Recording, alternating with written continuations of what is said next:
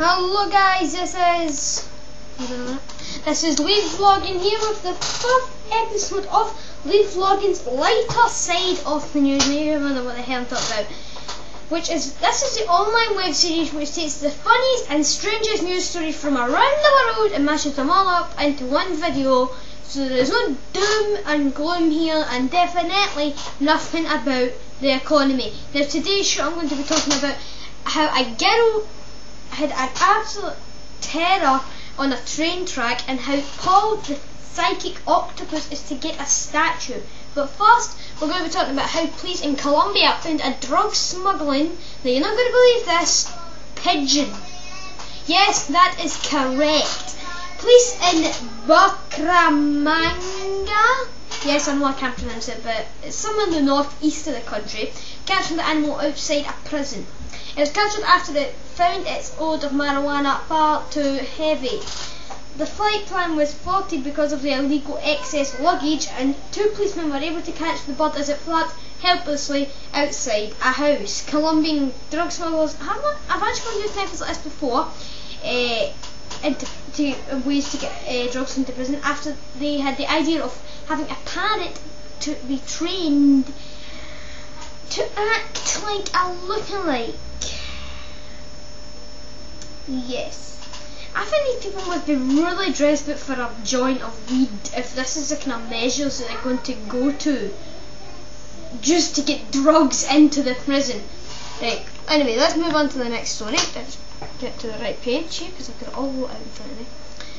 The next story I'm going to be talking about is the moment a mother lowered her daughter onto a railway track right in front of a train. It has been caught on CCTV. There'll be a link below where you can go and watch this video in the CCTV. The girl survived the ordeal because there was a hot, there was a, under, a hollow underneath. There was a wee gap underneath the platform which she just hiding where this plane came. It unfolded in Buenos Aires, Argentina. Uh, when the mother tried to being caught by ticket collectors. Now, supposedly this is a thing that happens a lot in Argentina. I don't know if any of you people from Argentina and if you've been involved in anything like this. Uh, but yeah, this is kind of strange, I must say, that why we would really want to risk your daughter's life. Uh, I think I'd rather just pay the fare. I don't know. Anyway, the last story that I'm going to talk about today is that Paul, the tipster oct octopus. Now this is uh, I don't know if you remember, but uh, see Paul uh, is a psychic octopus from the German World. Uh, uh, he would predict what the results of the match were going to be that Germany were involved in in the South African World Cup in 2010.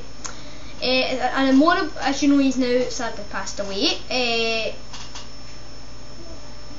But a memorial now has been unveiled in the zoo he's from. Eh?